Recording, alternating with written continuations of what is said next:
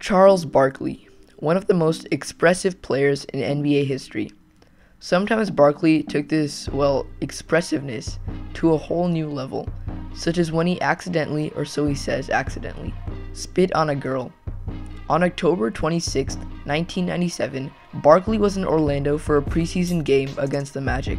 The night before the game, Barkley went out to a bar with fellow teammate and all star Clyde Drexler, as well as another woman named Karen Carrington.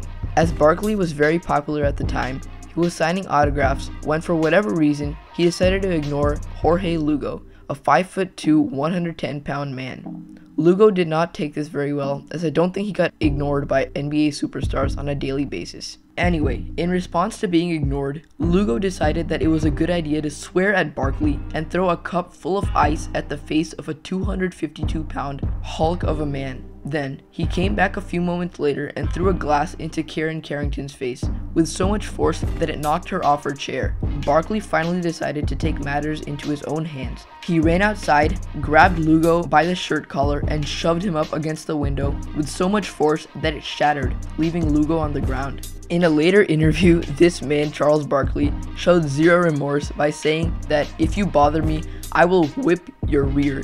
Barkley was fined $320 while he was making about $3 million a year, and he had to make two community service visits to children's programs. In conclusion, I'd like to say that the moral of this story is to never provoke someone who is 140 pounds heavier and a foot and a half taller than you.